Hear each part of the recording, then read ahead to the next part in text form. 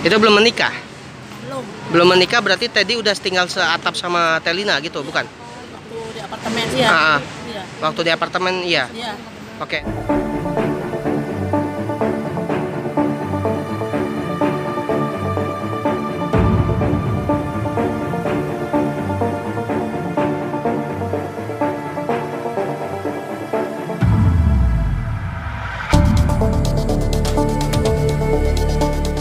Ibu, mengenai ibu yang tidak dibayar itu cuci baju itu seperti apa sih, Bu? Cuci baju. Iya ya tadi kan katanya di apartemen ibu nyuciin baju gitu Iya, kan bahkan iya tidak dikasih uang spesial pun Enggak, jadi gini ya. Waktu di apartemen kan belum ada pembantu. Mm-mm. Kan di Margahayu mah ada pembantu. Mm-mm. Kalau waktu di itu mah kan nggak ada. Mama yang nyuci, mama yang masak, mama yang ngepel, gitu ya. Eh, tapi siapa lagi kalau bukan mama yang nyuci? Mm-mm. Di apartemen mama yang masak dia bangun tidur. Eh, kadang-kadang bangun tidur dia jam 12 Hmm. sebelum nikah belum ya ikut terus itu tadi di apartemen. Hmm. itu belum menikah? Belum. Belum menikah berarti Teddy udah tinggal seatap sama Telina gitu bukan? Waktu di apartemen sih ya. Ah, ah.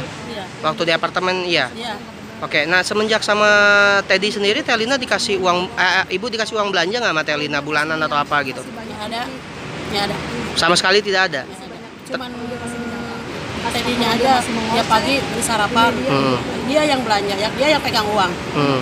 dia yang pegang uang bukan bukan anak mama yang dia tapi ada menarik bu. Sebelum menikah berarti Teddy sudah tinggal bersama Lina gitu dia kan? di apartemen. Nah, ibu tidak ada melarang atau seperti apa gitu, Bu? Terus, apa ya ibu nggak bisa bicara apa-apa Hmm. cuman ibu bisa diam cuma nangis tapi batin mah pengen ngomongnya Hmm. tapi nah udah udah waktunya udah saatnya eh, pas Januari tanggal 27 ibu cerita begini ibu Hmm. kapan kamu mau menikah Heeh. mama udah aja nikah yang penting asal selamat Heeh. nikah aja dia dia mau katanya bilang ini dia mama mau nikah kata, kata mama tanya udah urus aja surat Hmm. Dia sampai pinjam cincin nikah itu Hmm. Itu berapa bulan Ibu tinggal bareng di apartemen itu, Ibu? kalau di apartemen mah 8 bulan 8 bulan tinggal berdua. tigaan sama mama Oh, sama mama bertiga. Iya. Tapi tidurnya sekamar atau tidak mereka? enggak di, di ruang tamu Hmm. mama yang di kamar Hmm, hmm, hmm, hmm, hmm. ya memang satu rumah tapi enggak si mama di kamar dia di, eh, anak mama di kamar sama mama Hmm. dia di ruang tamu sama supir Tapi Teddy sendiri temperamen nggak sih, Bu? Temperamental, emosian gitu?